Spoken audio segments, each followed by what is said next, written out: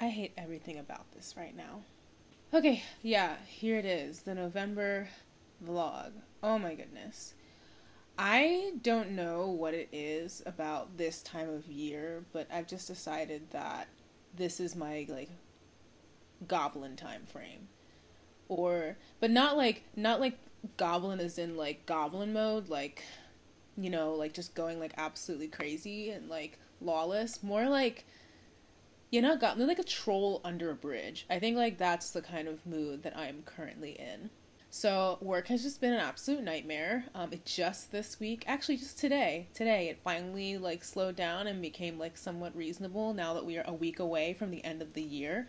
I have like barely been riding. I mean, I think I had like a week or two off before I even went to the horse show with Fuego, which was wild. I mean, traveling for like holidays and stuff. Um, I had to leave for Thanksgiving, and then when I came back, I caught COVID so that was like a full week of absolute mess. And then after that, uh, my car decided to break down, and so now I'm paying for that.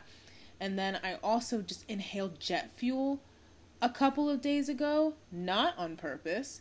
So, yeah, also in the process of recovering from that, which I don't think there really is any recovering. I'm just going to consider this a terminal illness at this point. But, regardless, November.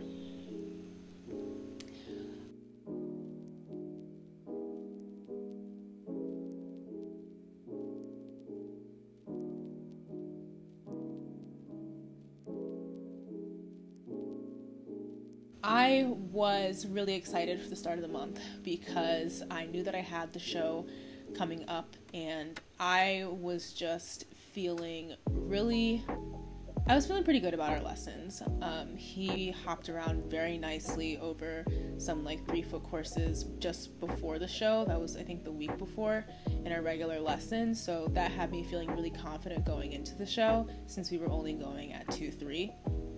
And if you have not watched the show vlog, you need to go back and watch it because Fuego was an absolute little angel baby boy. I am absolutely just still overjoyed with how well he performed and how well he did, and it makes me really excited to take him out again.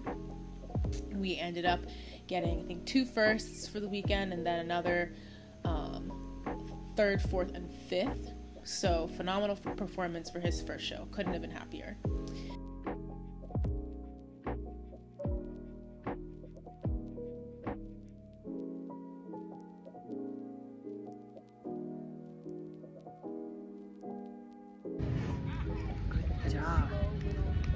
So then after that, we kind of just kept things easy. Technically, this is the off season for me, so it's been a pretty simple month.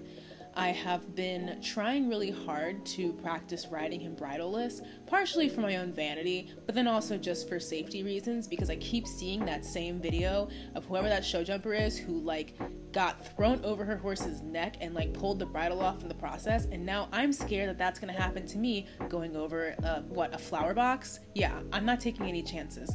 So yeah, we're working on that. Um, it's going terribly. I'm awful. Um, but yeah, we're we're gonna get better. I'm certain that we're gonna get better.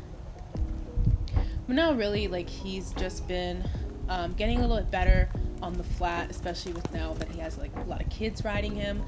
Um, just I've spent a lot of time trying to reinstall a lot of the buttons that I installed this time last year.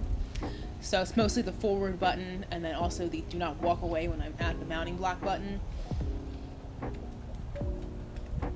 yeah, I just in general I do want to um, try to spend a little more time with him. I haven't really been able to get out to the barn all that much, just between like again work and travel, um, and I feel like I'm kind of missing out on a lot of the fun time that we used to have. So hopefully things slow down in December. Hopefully things you know can go my way as the year wraps up yeah, I'm I'm excited for what 2023 has to offer. I'm just skipping through the month of December entirely and just going straight to 2023 because that's the vibe right now.